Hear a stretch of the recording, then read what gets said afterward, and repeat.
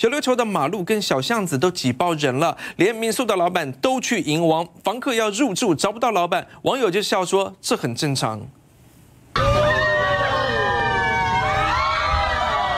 东流线海盗船又来了，乘客尖叫声四起，船身上下摇晃。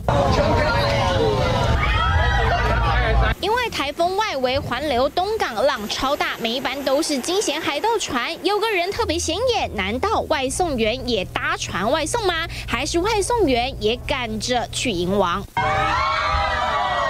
小琉球迎王祭三年一次，民众凌晨开始排队，预估一天破万人登岛，大街小巷挤到爆，万头传动。有导游估计，游客加迎王人潮，同时间有五万人挤爆。小琉球的居民的还有他们的亲友，当日来回的，甚至说民宿客满的状况，这样算起来的话，至少今天会来到四五万之间。